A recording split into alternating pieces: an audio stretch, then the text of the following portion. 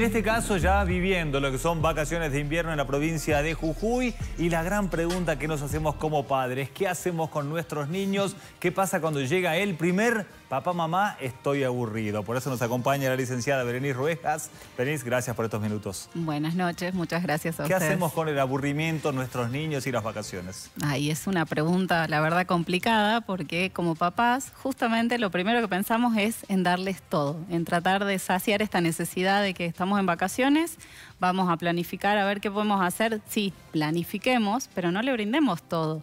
Les enseñemos actividades cortas, propuestas que ellos puedan también desafiarse a, a entretenerse y aprender a hacer algo nuevo. ¿Y cómo se trabaja esta planificación cuando generalmente o en muchos casos no coinciden las vacaciones de los padres, si es que las tienen con los más chicos de la casa? Y ahí es fundamental, bueno, esto, ¿no? Me organizo como papá, voy a ir a trabajar, pero también, bueno, ¿con quién va a quedar? ¿Qué vamos a hacer? Por ahí sirve esto de las colonias de vacaciones que, que, se generaron ahora, las de invierno, o por ahí decir, bueno, a ver, en casa quedo, ¿qué le puedo proponer? Sacar juegos, implementar el arte, el, el generar, digamos, espacios de entretenimiento que ellos que no sea todo pantalla, que no sea toda la resolución con la tablet, el celular, la play, porque después llego a casa y están con la cabeza mil por haber estado todo el tiempo con la tecnología y no haber podido disfrutar. Yo llego cansado, se suma y se hace una bomba. ¿Y el aburrite? Porque estamos hablando de generales, generales, uh -huh. generales.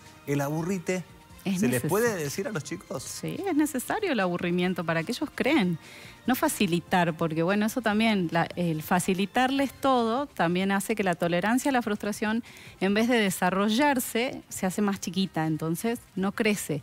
Entonces todo quieren ya. Y bueno, la pantalla genera esto, sí. ¿no? La recompensa todo el tiempo de que obtengo todo lo que quiero con el dedito o con pasar o con, no sé, el placer que me produce la recompensa de tenerlo todo en la pantalla. Bueno, también el esfuerzo, premiar el esfuerzo, decir, bueno, en vacaciones podemos ordenar, podemos jugar, podemos eh, también crear ideas, a ver, con ellos construir, charlar. Eh, ¿Y qué ganan los chicos generando, construyendo, eh, buscando ideas para este, tratar de llenar esas horas libres de las vacaciones? Bueno, más que nada desarrollan creatividad, que es fundamental, esto de la tolerancia que lo volvemos a decir, y sobre todo el espacio de aprender desde uno mismo a resolver, a tener herramientas para resolver, para, para ver cómo hago para, eh, cuando me encuentro en una situación, a ver, ¿qué, ¿qué, tengo en mi mochila? Abro mi mochila y digo, ah, podría hacer esto, eh, puedo implementar esto. O sea, si yo no les genero todas las respuestas, ellos las, las aprenden a tener. ¿Y qué pasa si está mi niño? Obviamente que tiene que ver con diferentes edades, pero ¿qué pasa si está en la cama todo el día, no se mueve, si no le genera mamá o papá o alguien en la familia alguna actividad? Pasa las horas en el cuarto. ¿Qué pasa ante esa situación? Bueno, ahí por ahí nos pasa con los adolescentes claro. esta situación, ¿no? Entonces por ahí también eh, llegar al diálogo, a encontrarnos con ellos. Llegamos cansados con la mochila laboral y bueno, hay que dejarla en la puerta y pensar que adentro de mi hogar hay personas que me necesitan Otro como adulto. Cumplir. Sí, y el rol es importante, escucharlos, acercarse, preguntar qué les está pasando, qué necesitan, dialogar. Estos espacios son fundamentales, por ahí decir, bueno, un espacio de veamos una película, salgamos a comer, a caminar, a jugar. No hace falta gastar dinero para mantenerlos entretenidos. Siempre los puntos medios son importantes, porque así como uh -huh. no hay que generarles todas las actividades, tampoco hay que sobreexigirlos en vacaciones. O sea, ¿son dos semanas para descansar o algo hay que hacer? Fundamental, el descanso es lo que les digo a todos los pacientes y a los padres. A ver, no, descansemos, para eso se hicieron las vacaciones, no vamos a estar recargándolos con tareas y con esto de no, tenés que estudiar, tenés que hacer. Por ahí el descanso es necesario. Y si yo tengo que planificar una mesa de exámenes para las primeras semanas de agosto, bueno, dejémoslo descansar una semana plenamente y la otra retomar gradualmente el estudio, pero no los recarguemos porque después llegan a fin de año agotados. ¿No hacer nada es hacer algo? Es compleja tu pregunta. en realidad, eh, no tampoco podemos ser tan pasivos. No, o sea, obvio. Tenemos que estar pendientes, atentos. Ellos necesitan de los adultos para saber cómo resolver algo, pero el diálogo es fundamental. Si yo no le pregunto, no genero el espacio. Si no genero el espacio, el niño va a dónde buscar.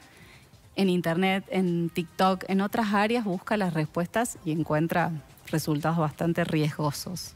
Tenemos dos semanas por delante, ¿no? Para seguir conociendo a nuestros hijos. Así es, aprovecharlo y las oportunidades de crear sobre todo y por ahí jugar. Los papás hemos perdido la costumbre de jugar juegos de mesa, de crear masa, de cocinar, de hacer hábitos que hemos perdido desde niños. gracias por la visita. Gracias a ustedes.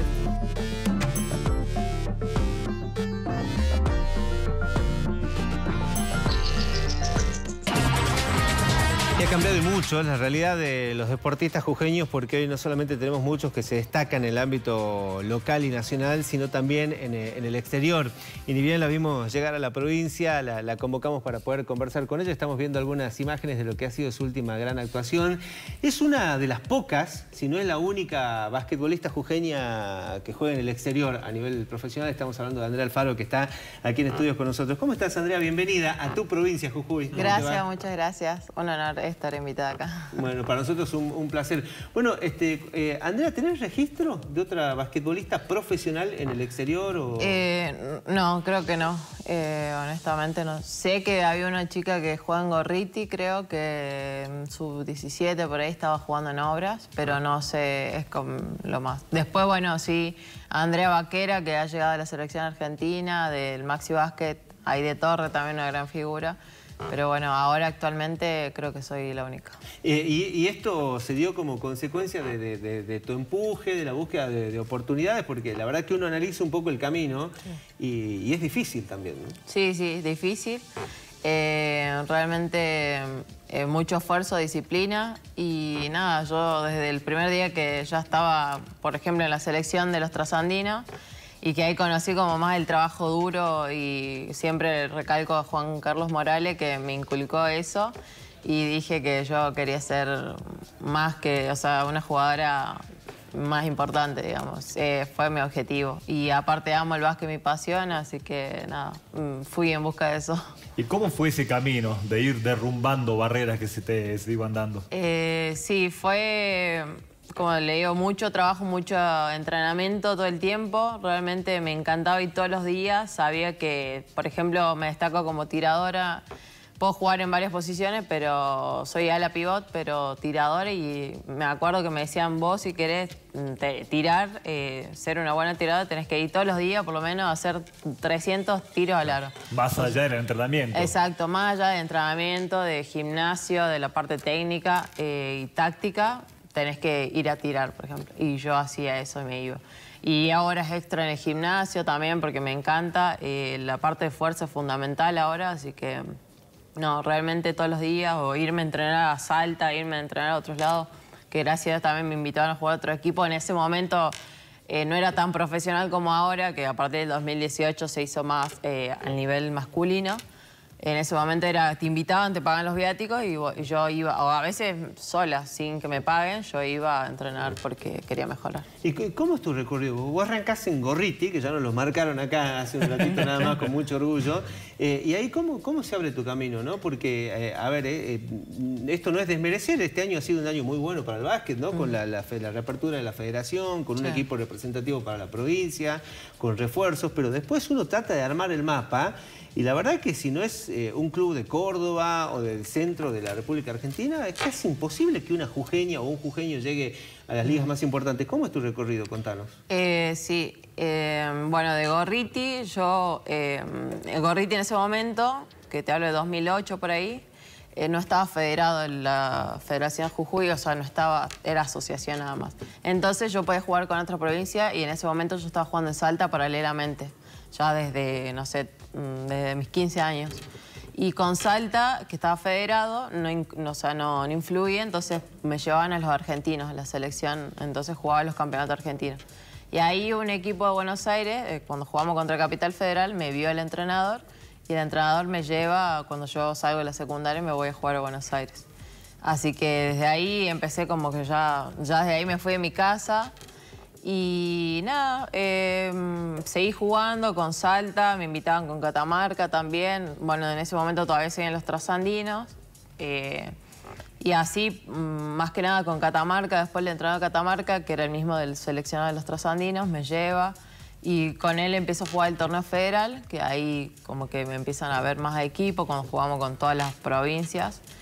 Y así fue. Y, ¿Y cómo parece España? eh, Porque yo la cosa es armar las valijas y decir, bueno, Sí. eh, cruzo el Atlántico. Sí, claro. eh, Salta a España.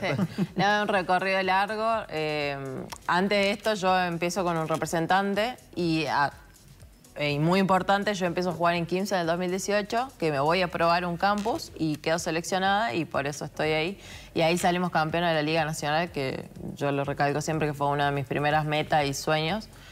Eh, y de ahí ya con el representante ya voy a diferentes equipos y nada, realmente no fue por el representante tanto, sino por un entrenador de Córdoba que me llamó para que él está viviendo en España y me dijo, un equipo necesita una jugadora de tus características y bueno, eh, entonces... Y el representante y el entrenador fueron tus aptitudes, ¿no? Para Sí, sí. jugar al básquet. Exacto. Ahora, este, ¿cómo analizás, Andrea, también la realidad del básquet en la provincia de Jujuy? Porque muchos se sorprendieron hace muy poco tiempo con canchas llenas en la participación de Jujuy Básquet, pero aquellos que ven un poquito más allá también saben que en el Club Gorriti siempre hay gente, siempre hay este, muchos chicos participando, Sirio Libanesa igual, o sea, en la Federación de Básquetbol vas cualquier día y también está el Maxi Básquet femenino. Sí. ¿Cómo ves el crecimiento? ¿Cómo ves eh, eh, el básquet hoy por hoy en Jujuy? Yo veo mucho progreso, realmente eh, me sorprendió ver el... Todavía no fui, no tuve, no tuve la gracia de ir todavía a la cancha del- de la federación,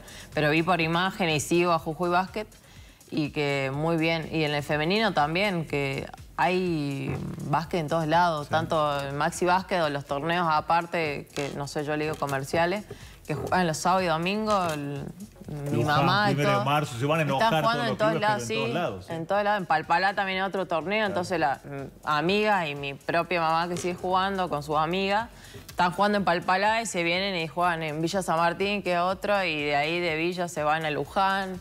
Pero sábado y domingo están jugando constantemente. Para mí hay mucho progreso y se juega mucho. Y, por ejemplo, Gorriti ha ido a participar del torneo internacional que se hace allá en Córdoba, que, que es de una compañera, de una amiga. Y todos me dicen, che, las jujeñas, ¿cómo juegan? Que son, son corredores. O sea, todos nos subestiman, no te voy a mentir, siempre nos han subestimado y se sorprende. Y salieron campeonas este año las chicas y bueno, eh, no, realmente para mí mucho ¿Qué sentís progreso. cuando alguna nena que está empezando dice, le dice, mamá, yo quiero ser como ella? Realmente, no, no sé, un orgullo. eh, nada, muy, eh, me siento muy orgullosa de porque todo lo que logré lo hice con mucho esfuerzo, pasión, más que nada pasión, porque amo el básquet. Y nada, me siento muy dichosa de poder trabajar de algo que amo. Y el valor de la referencia, ¿no? Porque no, no- hemos encontrado eh, otra jugadora profesional que, que haya cruzado el charco y que nos represente también en una disciplina que, que está buscando rehacerse como en las viejas épocas, ¿no? Del básquet, nada más y nada menos.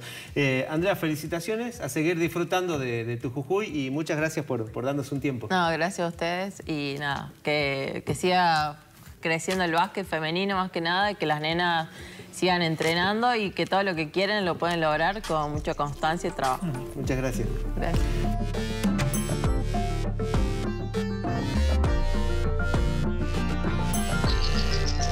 Como siempre, vamos a dar la bienvenida al doctor José Moscoso porque vamos a hablar de un tema que, claro, eh, nos enfoca también en el título nacional que es la búsqueda del OAM.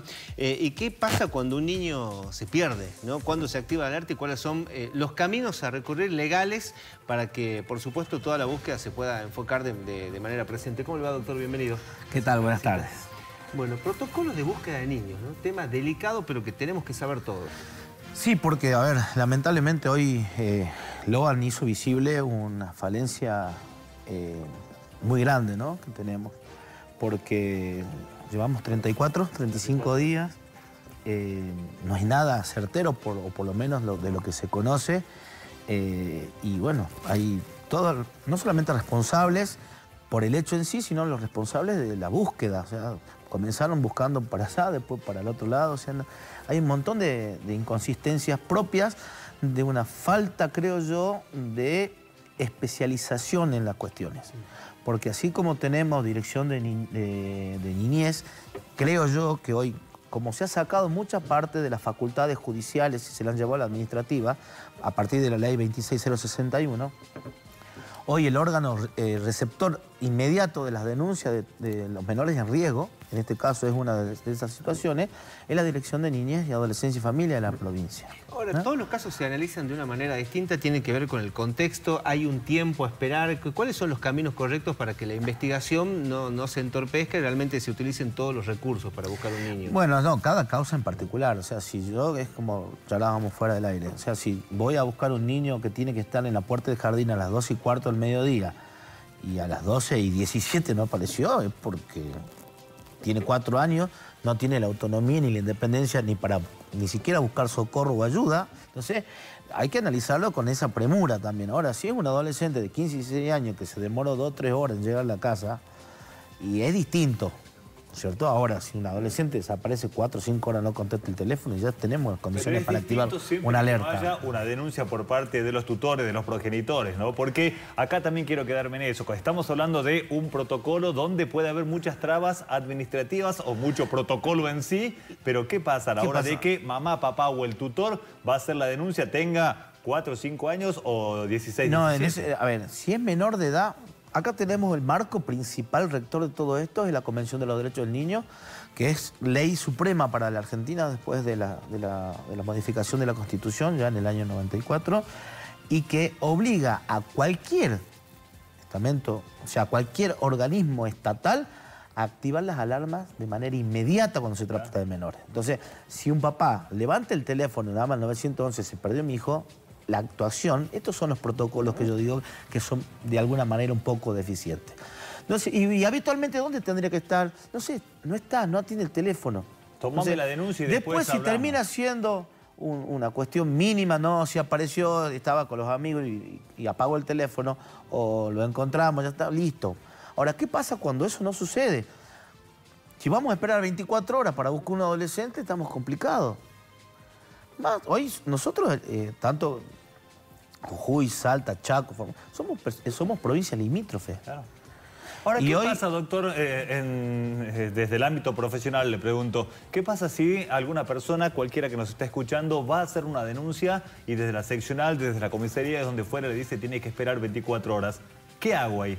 Si es un menor de edad. Si es un menor de edad. No, primero tenemos... Me pongo en contacto con usted, con el ministerio, con la secretaria, ¿con quién me pongo en contacto para que se tome esa denuncia? No, a ver, tenemos las líneas habilitadas de la Dirección de Niñez y si hay un menor en riesgo, independientemente de lo que es la intervención del MPA, digamos, del, Ministerio Público de la Acusación, en este caso, eh, hoy la policía ya no tiene esas conductas. Es muy difícil que ante la desaparición de un niño te digan, esperemos 24 horas no creo que, pase eso.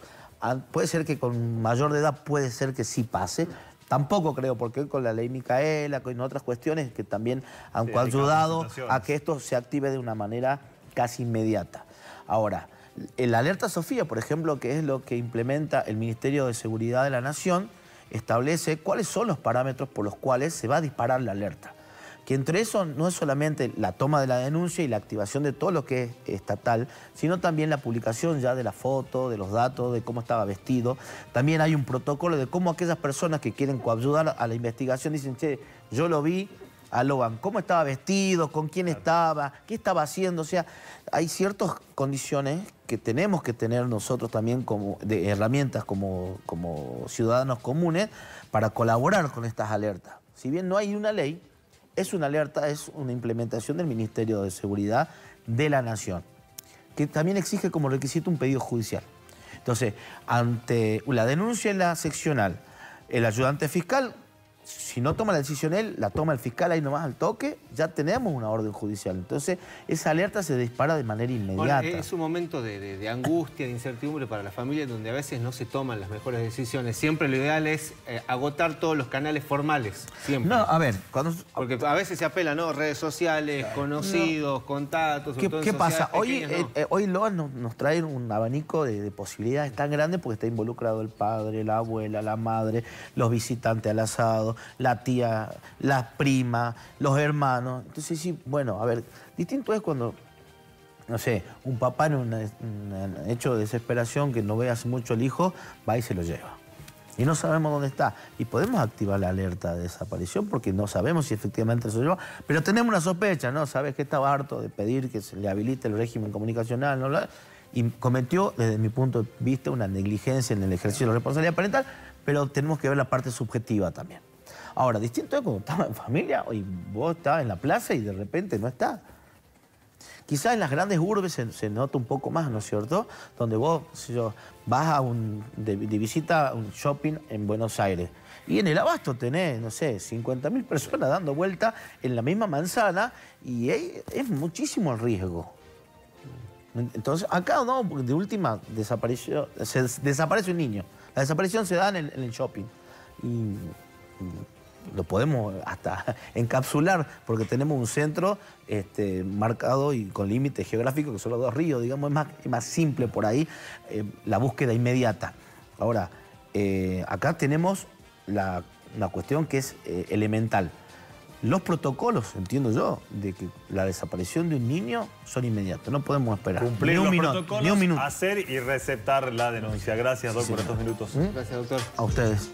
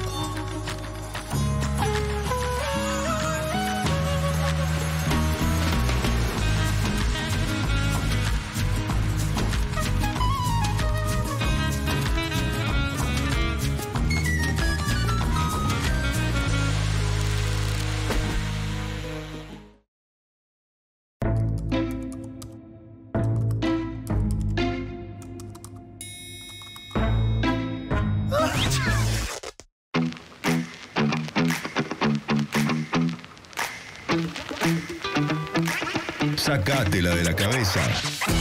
Paga tu factura sin hacer filas. Te brindamos muchas opciones de pago para que tu tiempo no te pase factura. Si necesitas ayuda, llámanos al 0810-444-5900. El 4. Musimundea, en la temporada de calefacción de Musimundo. Hasta 12 cuotas sin interés con tu tarjeta de crédito y hasta 40% de descuento en musimundo.com y sucursales. Para la parte más cómoda de tu casa, en la que te relajas y la que disfrutás. Musimundo, parte de tu mundo.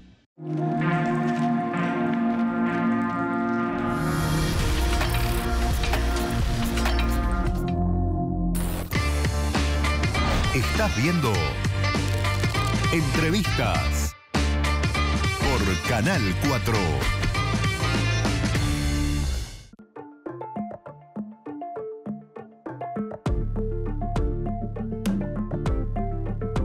prometido es deuda, hablamos de la encuesta que estuvimos largando durante toda la mañana, con qué frecuencia se bañan y vamos a estar repasando los números que va arrojando el voto de la gente a ver, la gran mayoría dice que se baña día de por medio con un 48%, todos los días 36, dos veces al día con 12% y dos veces a la semana, que era lógico, los menos, que es el 4%. Pero para charlar de este tema y desburrarnos, ¿quién está?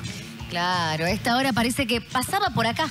Pasaba por acá ella y dijo, este tema creo que lo sé es la doctora dermatóloga justamente Antonella Territorial. Levanto, gracias Doc por estar hoy acá. No, por favor, un gusto. Eh, y nos, te sumamos, ¿no? a esta mesa.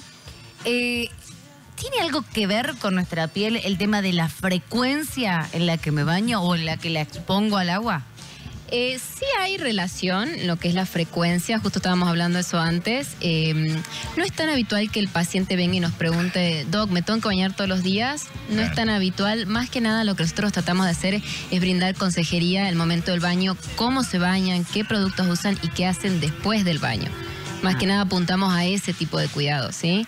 Eh, no vamos a aconsejar que no se bañen, eh, o, que, eh, claro, o que se bañen tres veces a la semana, eso ya es como muy personal de cada paciente. Pero, pero ¿qué hay en esto, no? Mito o realidad, y es lo último que yo pregunto porque siempre lo, lo pensaba y es, ensuciarse hace bien y que la suciedad propia del ambiente genera como anticuerpos en la piel y que, por eso pregunto, mito o realidad, lo tomo con pinzas, que no está bueno sacarlo todo el tiempo, todos los días, eso de, nuestro cuerpo, de nuestra piel, ¿eso es mito o realidad? Nosotros en la piel tenemos una flora que convive con nosotros, bacterias, parásitos, las mismas células, etcétera, que sí nos protegen, actúan como una barrera eh, contra el medio ambiente por ahí para que la piel no esté irritada constantemente no es lo adecuado que la estemos eliminando eh, todo el tiempo con las duchas, ya sea con otras cremas abrasivas, con las mismas limpiezas, que por ahí hay mucha obsesión hoy en día. No está bueno eliminarla porque sí, vamos a tener una piel mucho más irritable, con más picazón, más seca, así que no, no sería la mejor conducta. ¿Cuánto es el tiempo eh, límite como para bañarse, por ejemplo? Bañarse bien, puede ser 5, 10, 15. Recién me un amigo de Agustín que decía que estaba 45 mensajes. 45. 45 no, es un montón. Mira, es depende de la piel que tenga el paciente. Por ahí hay pacientes que sufren de mucha piel seca, que son los pacientes atópicos, que tienen una piel muy seca, muy irritable, con mucha picazón. Y por ahí le, aconsejamos no más de 10 minutos. Y ya 10 minutos es muchísimo, ¿sí? Mm. Entre 5 y 8 minutos para mí está bien. Tengo, perdón, tengo el caso de una, eh, de una amiga que eh, ayer estábamos charlando justamente y estaba preocupada porque dice que se le cae el pelo.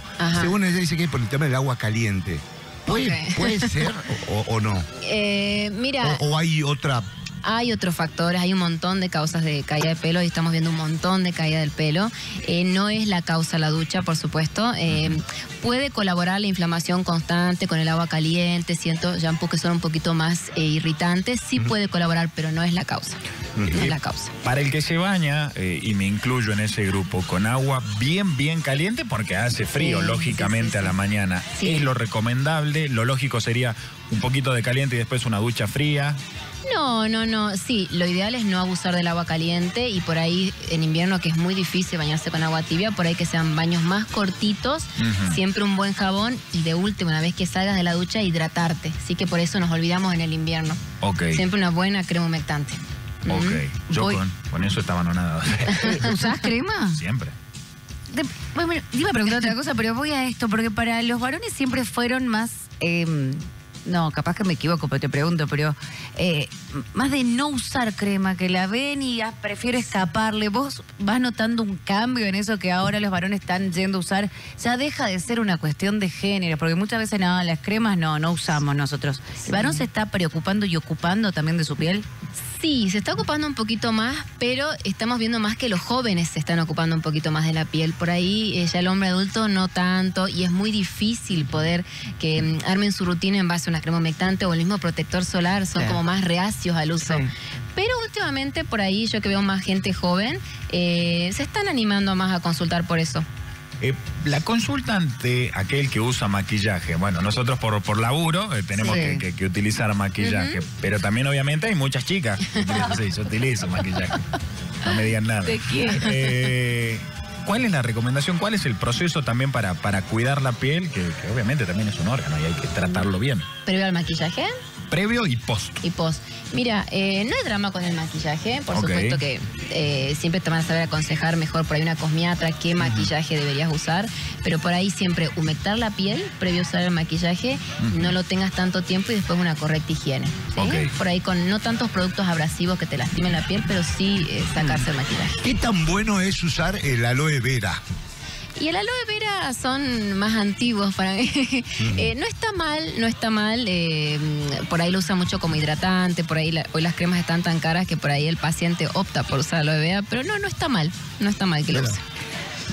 perdón, la, última en este tema, eh, mito o realidad cuando nos vamos a bañar. Sí. Muchos te dicen, no, no, el último chorrito de agua siempre es bueno que sea fría. Sí. ¿Para qué? ¿Por qué o es un mito? Y la verdad que es, te soy sincera, para mí es un mito, no nos va a cambiar mucho la, piel o que se seque más, que se seque menos, no nos va a perjudicar en nada ni nos va a beneficiar tampoco. La verdad que ah. no. Para los que dicen te queda radiante, es mentira, te matas de frío al pepe. No, sí, totalmente. Depende de otras cuestiones. Hay una consulta. Sebastián dice, hola, buen día. Consulta. Para lavarse la cara es conveniente agua fría, agua caliente o agua tibia, que es parte de los mensajes eh, que vemos en, pantalla. ¿Qué le decimos? Hay otros mensajes que ahora lo leemos. Para lavarse la cara yo te sugiero más fría a tibia, no caliente, ¿sí? directamente al rostro agua caliente no está bueno, ¿sí? Te va a irritar mucho, te va a secar, no, sería lo ideal. ¿Y bañarse esta época con agua fría, por ejemplo, dos minutos? Son kamikazes. No, no, es mucho. ¿Y por qué decís vos con agua fría? Y Dios, no se ah. pregunto. No. en, verano, bueno, en verano sí, uno se baña tres, cuatro veces por día. Claro. No, la verdad que no. No, no. No, recomendable. No, no, no tendría ningún motivo. Yo más que nada apostaría que sí, nos bañemos con agua tibia, em, a caliente, por supuesto nadie lo está haciendo con agua fría hoy en día, pero sí apostemos a humectarnos después de salir de la ducha, que por ahí nos olvidamos de la piel en el invierno y es cuando más se nos reseca. Así que por ahí es más que nada eso. Hay dos mensajes. El primero, Juan Carlos Martínez dice saludo a Antonella, excelente profesional. Bueno, un mimo ahí para, para la doc y consulto. Eh, tengo mi hijo de 14 años, se baña antes de dormir y al levantarse. ¿Está bien? Pregunta Cinti. Todos los días, no importa si hace frío o calor. Y depende que haga el, chico, porque si hace mucha actividad, claro, si hace actividad física, transpira mucho y sí, es medio incómodo acostarse ah, eh, todo, transpirado. Es más que nada depende de lo que hagan el día a día. No, y levantarse, yo comparto con él, ¿eh? porque levantarse mucha gente este, se transpira mucho a la noche. Que la calefacción, que las colchas, que todo se transpira. les molesta. Sí, no sería lo ideal. A ver, hay gente que sí, por supuesto, en la vida personal de cada paciente no nos podemos meter, pero hay gente que sí se siente incómoda. Nos cuentan inclusive que transpira, como vos decías, mucho de noche y sienten la necesidad de lavarse, aunque sea rapidito, un baño cortito, pero lo hacen. Lo bueno es que ya se, eh, se baña, digamos. Claro, claro, cumple. Ahora, eh, después del baño, y bueno, la sequedad del invierno y todo, yo me baño, vos decías hidratar la piel. Sí. Y hay un montón de cremas, y de hecho lo hemos hablado con Agustín. ¿Qué, crema me pongo después de bañarme? Porque tenés la hidratante, la nutritiva, la, la humectante. ¿Cuál agarro? Que la crema, que el aceite, que el bálsamo, que la loción. Bien. Y mira, es depende de la piel del paciente. Hay pacientes que sufren muchísimo la sequedad porque son pacientes más alérgicos que van a necesitar cremitas un poquito más pesaditas, para, por así decirlo, con ciertas moléculas como la urea, etcétera, que necesitan humectarse mucho más. Y otros pacientes que no, con una crema de livianita es más que suficiente. Pero por ahí es siempre em, que vengan a la consulta, si los revisamos, podemos verle cómo está la piel y qué tipo de crema va a ser la, mejor. Entonces, pasando en limpio, lo fundamental no es tanto la frecuencia del baño, ni el agua, ni tanto, sino el post, la crema que usamos después. Es el más y el jabón. Los cuidados exactamente y la calidad del baño. Ah, exactamente, un buen jabón, este, los shampoos, la crema de enjuagues, por ahí más que nada esos consejitos. Quiero sacar un, un mito o no. Siempre estaba la abuela que te decía, para bañarse el jaboncito de glicerina. Mira, yo no lo aconsejo ni al, de glicerina ni al blanco de la ropa, que es muy común que lo usen los pacientes. para la cara te decía. Claro, es muy astringente, es muy seco y reseca mucho. Sí, no es lo ideal en esta época. Siempre un buen jabón cremoso, no vamos a nombrar marcas, pero eh, un buen cremoso, hidratante, con avena, están buenos. Última consulta. Después de bañarse, ¿cuánto tiempo hay que esperar para ponerse? Eh, la crema nos pregunta, no puso el nombre, pero le mandamos un beso grande a 467. Eh, no, automáticamente salimos, nos secamos bien y automáticamente humectarse. Va eso, bien seca la piel porque había gente que te decía, no, que esté un poquito húmeda para poder ponerle la crema. No, no, que se sequen. Es bastante incómodo combinar crema con agua. No está bueno. Sí, complicado. Sí, sí, no, sí. es complicado. Queda como un engrudo. Bueno, doctora. Sí, sí, sí, sí. Muchísimas gracias por esta consulta y, a la gente que participó también. Sí, eso ahora. Ahora Muchas gracias. Muchas gracias a ustedes. nuevo encuentro. Muchas gracias. Felices vacaciones. Gracias, muchas gracias. Seguimos trabajando igual.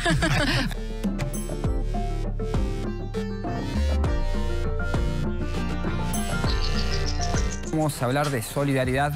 En este caso vamos a conocer la labor que hace la Fundación Padre Pío en la provincia de Jujuy, que se dedica a contener y a brindar alimentación y otras donaciones a personas de escasos recursos. ¿Cómo estás, Gabriel? Saludamos a su referente. Bueno, muy buenas noches, les agradezco la invitación. Y bueno, sí, contarte que somos, bueno, yo soy el presidente de la Fundación Padre Pío. Hemos empezado allá por el, por el 2016. Estamos trabajando arduamente eh, con distintas este, iniciativas. Nosotros hemos arrancado por eh, una situación de las inundaciones en Palpalá. ¿Eso fue en el, 2016? El 2, de, el 2 de abril del 2016 fue una de las inundaciones poco antes vista en Palpalá, que ha, que ha golpeado de manera fuerte en, los asentamientos y hemos estado trabajando allí, eh, después en articulación con organismos del Estado para poder brindarle soluciones concretas, ¿no? Pero eh, bueno, luego hemos seguido extendiendo el trabajo y estamos actualmente trabajando en, en Barrio General Sabio, Barrio Alto Palpalá, Barrio San José y en Humahuaca también tenemos un merendero, ¿sí? Son cuatro merenderos que eh, brindan eh, contención y alimentación a, muchos niños, ¿no? Y también, bueno, a, los adultos mayores que también son muy importantes para nosotros. ¿Qué importancia es justamente hacer hincapié en los más chicos, sobre todo en la alimentación, ¿no? Y en, los adultos mayores que tanto nos necesitan. Sí, mira, eh, es muy importante que podamos brindarle eh, este, esta contención alimentaria porque, bueno, sabemos que, estamos atravesando un difícil momento a nivel país, a nivel provincia y creo que, este espacio que estamos brindando nosotros quizá es una de las pocas comidas que pueden tener en el día y, sobre todo los adultos mayores que vienen muy preocupados y angustiados a pedirnos ayuda. Eh, y bueno, también durante, durante el, año tratamos de hacer colectas de mercadería y de ropa para darle a los vecinos, ¿no? Eso también es muy importante para nosotros. La comunidad de Palpalá es una comunidad muy solidaria. Eh, que no solo nos colabora para los merenderos de Palpalá, sino también colabora para Humahuaca. Y, y, también, bueno, acá en San Salvador estamos haciendo un trabajo articulado con algunas instituciones que nos brindan espacios para poder hacer eh, lugares o, momentos de formación eh, con, orientación en formación laboral. ¿no? Esto ya lo venimos practicando desde el 2022 y actualmente tenemos una alta tasa de personas que han egresado de nuestros cursos. ¿no? Entre 2022 y 2023 tenemos aproximadamente 300 personas capacitadas en la provincia. Eh, que han recibido capacitaciones, no solo, digamos, a la cuestión del ámbito laboral, sino también brindarles capacitación a los emprendedores o a los vendedores ambulantes para que puedan tener una mejor parada al momento de vender y que le dé sustento a su familia. Y esto es muy importante, ¿no? Teniendo en cuenta que son por ahí familias de escasos recursos, que por ahí no tienen las mismas posibilidades y bueno, ayudarlos con, un oficio es para que trabajen es importante. Sí, nosotros hemos empezado con esto porque no solamente es asistencia alimentaria, sino también es ayudar a que se empodere económicamente la familia. ¿Sí? Eh, nosotros tratamos en la fundación de brindarle la merienda para que vayan a merendar en la casa, para que no se rompan esos espacios de, conjunto familiar y que puedan seguir compartiendo en familia. Y también, bueno, desde la fundación se brindan estos espacios de formación para que puedan ellos mismos tener la posibilidad de tener eh, su plata y poder decidir qué van a comer, qué van a comprar y no que tengan que depender de otros, ¿no? Eh, hemos ido trabajando durante todo este tiempo para que las familias puedan, digamos, hacer un camino de a poco y puedan tener sus propias herramientas y su propio conocimiento. A la vez que los jóvenes que asisten a nuestros cursos eh, van teniendo ya un antecedente formativo, porque es difícil que los jóvenes consigan trabajo hoy por hoy si no tienen experiencia laboral, ¿no? Claro, y más por ahí jóvenes que padecen alguna otra problemática. Gabriel, em, ¿con qué realidades se encuentran cuando van a estos espacios, estos merenderos de diferentes partes de la provincia?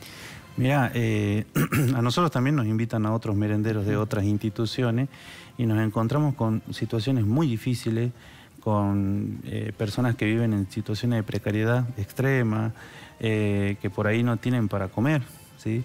comen una vez al día, dos veces al día, y a veces la merienda es un aporte más a la comida de ellos. Entonces nosotros estamos trabajando arduamente para poder brindarles soluciones a esas familias. Eh, articulamos con organismos del Estado haciendo solicitudes, porque hay cosas en las que nosotros sí podemos intervenir y hay otras cosas en las que no podemos hacer intervención y necesitamos de los organismos del Estado. Por eso creemos importante seguir trabajando y seguir haciendo este camino. Y, con los adultos mayores es muy difícil verlos sufrir, a veces eh, llorando, entre lágrimas nos piden hasta mercadería. La fundación es un, constante golpear puertas ahí que nos van a pedir mercadería, jóvenes, niños, adultos, mamás desesperadas con sus chicos y sobre todo que ayudamos con las situaciones de violencia de género también porque tenemos abogados que nos ayudan para eso. Me imagino las múltiples problemáticas que hay en esos lugares. Gabriel, te hago la última pregunta. Me gustaría que le dejes un mensaje a la gente para que se sume y haga su aporte solidario en la sociedad y también, por favor, las vías de contacto de ustedes para que se comuniquen. Sí, bueno, decirle a, cada eh, jujeño, a cada palpaleño, que nos puedan brindar la, ayuda. No debemos mirar con, ojos de, arriba, digamos, a la gente que necesita, estar cerca de ellos, porque nosotros podemos llegar a sufrir esa, problemática. Eh, no despreciemos a los que menos tienen, ellos nos necesitan y debemos tener un corazón solidario, eh, cercano, porque el otro es un hermano, ¿sí? es un hermano de acá de la provincia y, no solo un hermano en la provincia, sino un vecino quizás que necesita. No tenemos que mirar hacia, hacia otros lugares del país para ver que hay necesidades, ¿no?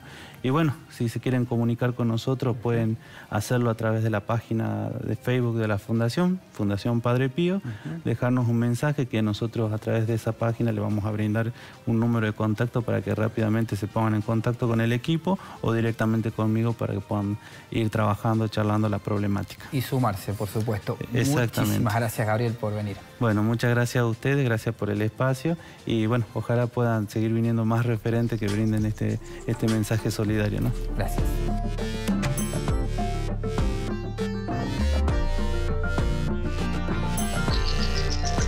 Scratches en redes sociales, todo, todo un tema. Eh, doctor, ¿por dónde arrancamos? ¿Cómo se hace una denuncia? ¿Cómo se sostiene? ¿Cómo se defiende una persona de un scratch? ¿Qué es lo más importante? Porque es una situación tan delicada hoy. Exactamente, hoy el tema de los scratches, en general podemos decir que son ilegales los scratches hechos en redes sociales. Hay que imaginarse que hoy el tema de las redes parece que uno publica algo y ya está, pero si lo llevamos a la realidad es como pararse en una plaza y comenzar a gritarle en contra de una persona. Es lo mismo porque tiene la misma llegada o incluso más. Entonces, eh, cuando hablamos de scratches, vemos que chocan muchas veces dos derechos, que es el derecho a la expresión que tiene una persona de quejarse frente a otro o de no estar de acuerdo frente a otro, y del otro lado una persona que, no tiene, que tiene derecho a no ser dañado. Cuando estos entran, digamos, en colisión, ahí tenemos que ver qué interés es superior a qué interés. Por ejemplo, el tema de los scratches muchas veces generan delitos penales. ¿Por qué? Porque son injurias y calumnias, es decir, ¿viste? que muchas veces ponen eh, Menganito es un delincuente, eh, lo publican y... O sea, acciones legales para con el escrachador. Claro, tal cual, porque él es el que comete una injuria, una calumnia, por ejemplo, en contra de una persona. Por ejemplo, vos publicás, Mengano es un delincuente, bueno, tenés prueba respaldatoria, hay una denuncia penal, hay una condena en contra de esa persona por la cual vos le estás, eh, digamos, que cometió un delito, bueno, si no la hay, te pueden hacer una denuncia penal. Entonces, muchos caen en la órbita penal y terminan yendo a conciliación, obviamente, eh, y una retractación. Y por otro lado, hay muchos eh, scratches que generan eh, acciones civiles, porque tienen que ver ya con, un, con algo patrimonial, con algo también afectación moral. Por ejemplo, en Entre Ríos hubo hace poco un veterinario que lo escracharon en redes sociales porque no, atendía, no atendió particularmente un perrito de la calle. ¿viste? Lo llevaron, no lo quiso atender entonces salió una persona a decir, bueno, ¿qué es esto? ¿Qué es aquello? Y obviamente se sintió eh, afectado en su profesión, en todo, porque fue difamado. Cuando él en realidad legítimamente tiene derecho a cobrar por sus honorarios, lógicamente, y no tiene la obligación de atender. Bueno, en este caso en particular, eh, condenaron al escrachador y tuvo que pagar una suma de plata bastante importante por haber afectado profesionalmente a esa persona.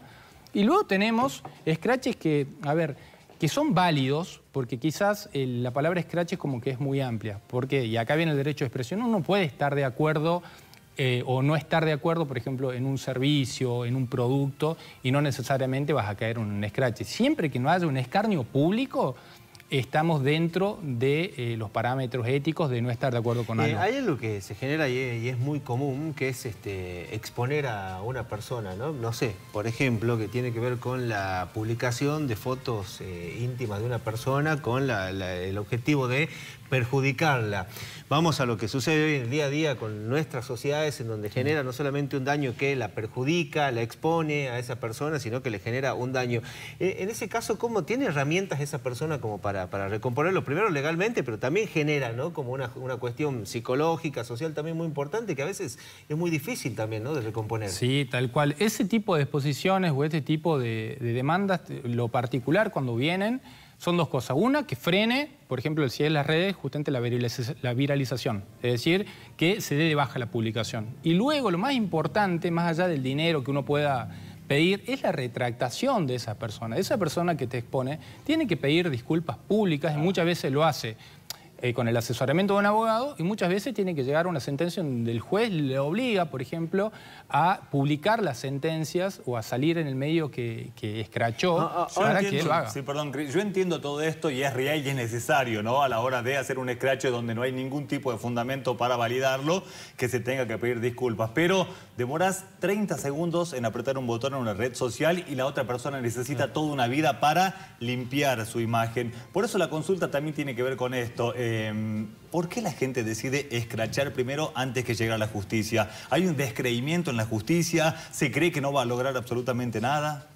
Yo creo que hoy las redes sociales y en general la sociedad quieren todo ya. Viste que hoy todo es instantáneo, tiene que ser ya. Entonces cuando piensan en una quizás injusticia para su persona o para con un allegado, prefieren utilizar las redes sociales porque saben que el impacto es inmediato. Pero no tiene valor legal, tendrá valor dentro de la sociedad, pero no un valor legal. Exactamente, yo creo que muchas personas valoran hoy en día ese impacto frente a la sociedad más que eh, la el justicia. De la condena social. ¿Y si era mentira? Y si era mentira, bueno, ahí esa persona que fue escrachada tiene todo el rigor de la justicia para ponerse sobre esa persona y ejercer las acciones que correspondan, porque no puede ser gratis tampoco que una persona eh, que se desarrolle su vida de manera normal, de manera correcta, reciba un scratch porque a otra persona le parece que no está bien lo que hace. Eh, eh, ahora, doctor, este, me quiero apoyar en el, caso que, nos da Josi. Pasa, no, no solamente pasa que de repente se viraliza una publicación, supongamos de un perfil anónimo, y hasta que la justicia actúa y hasta que, no sé, los canales de difusión se bloquean, páginas web y realmente se suspende la, publicación, eh, esa publicación en, la web, el tiempo sigue pasando, ¿no? Y se hace una bola de nieve que le sigue causando perjuicio. Supongamos de un perfil anónimo, ¿cómo se actúa en esos casos? Bueno, el tema de los perfiles anónimos siempre traen mucho problema porque vamos a tener que ir a, por ejemplo, si fuera Facebook, eh, que él determine, bueno, desde qué IP se hicieron ese tipo de publicaciones. Estamos hablando que son procesos bastante engorrosos, digamos, en ese sentido. Y tener en cuenta otra cosa también, cuando una persona realmente se siente dañada y quiere accionar, que las simples capturas de Facebook o de lo que sea, un grupo de WhatsApp, no sirven uno tiene que tener una cadena de custodia frente a eso, tiene que hacer un acta con todos los numeritos de los links y todo ese tipo de cuestiones, porque después, además de que te injuriaron, vas a hacer un proceso y lo terminas perdiendo porque no hiciste de la manera correcta salvaguardar las pruebas que te van a beneficiar para que esa persona se retracte en los casos que ha hecho una... ¿Un print de pantalla no alcanza? No, no alcanza. Porque... ¿Qué, es lo primero que se necesita ante una, para hacer una... Lo primero que tenés que hacer es guardar la cadena de custodia. Es decir, se recomienda ir ante un escribano público y comenzar a guardar toda la cadena que son los links. Viste que vos tenés una publicación, dice barra tanto, tanto, y tienen un montón de numeritos. Bueno, eso es una cadena de custodia. Eso, con el contenido que está, es lo que se salvaguarda y después se presenta en un juicio para este tipo de cuestiones. Las simples capturas no sirven. Ni para este ni para otro juicio, sea penal, sea de cualquier otra índole. Clarísimo, como siempre. Fue un placer contar con vos, doctor. Muchas gracias. Muchas gracias a ustedes.